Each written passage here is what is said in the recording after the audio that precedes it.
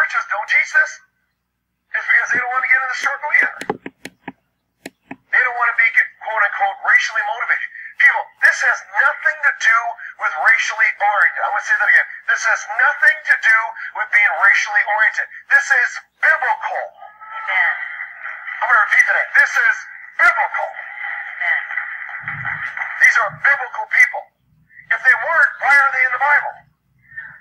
If, if God didn't want you to see this, then why did He write it? He did it because it has to do with His story. I'm saying, your forefathers, walk with me, don't miss this. Because 98% of everybody out there believes that their root starts in Africa.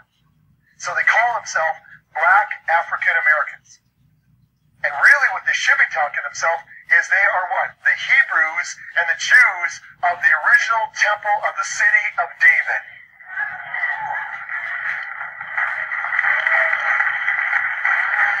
The, the, the, the, Kente cloth that you find and that, that most black culture uses as African cloth is the center cloth that was used in Solomon's temple and his mobile moving tabernacle. So where did you get that cloth from? Moses' mobile moving tabernacle. How did Moses get it? Because he was married to Zipporah and also an Ethiopian woman and etc. Now do you get the picture?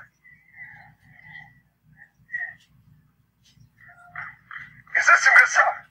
So you must take the people back past Africa, past Africa, past Africa. You gotta get them back to the city of David and show them right here that your forefathers, the Queen of Sheba, was already in the city of David at the time of Solomon when the temple was being built.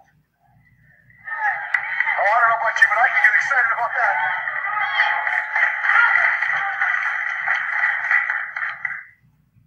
Whew, That's good stuff. I'm gonna get this DVD. Can I get a minute to sit with it? Amen. First Kings 3 1. Song Song, chapter 1, verses 5 and 6. I am dark. Some versions say black, but lovely. O daughters of Jerusalem, like the tents of Kedar, like the curtains of Solomon. Do not look upon me because I am dark, because the sun has tanned me. So, the priesthood, and then I turned to my black culture and I said, What? Your bloodline is priesthood? And, and no one told you that? I mean, like, not even one sermon? With the Holy Ghost? Not one time. Never was that. I mean, like, it never even crossed their mind. Like, I should this.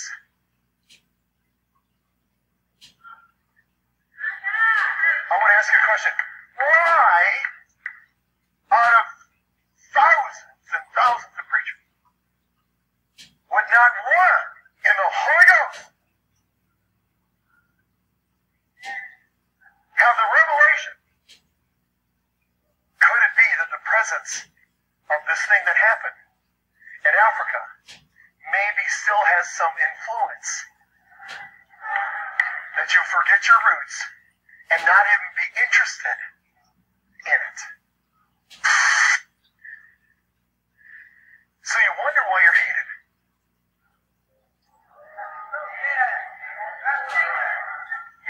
Because it's what's in your blood. See, you don't know who you are. And God wants to reveal it to you. But even as I'm telling you it, it no, no offense. Can I just be, can I just be friendly? Even, even as I tell the black culture this, it's like, just, know, don't bring it up. And so what I do with my big mouth, I bring it up. Why? Why should you be ashamed of your culture? I, I don't understand it. It's not in my logic. Well, you have think about this because sometimes we have an internal struggle because God's got a repositioning. But every culture God has, I'm going to teach you, I'm going to share with you, every culture is in the Bible. Just like this. But the reason we don't bring it up is because we have been brought up in a democracy slash republic in a religion that doesn't want to discuss this because we fear what it will reveal. Because we're into controlling people instead of releasing people. Come on, everybody, amen?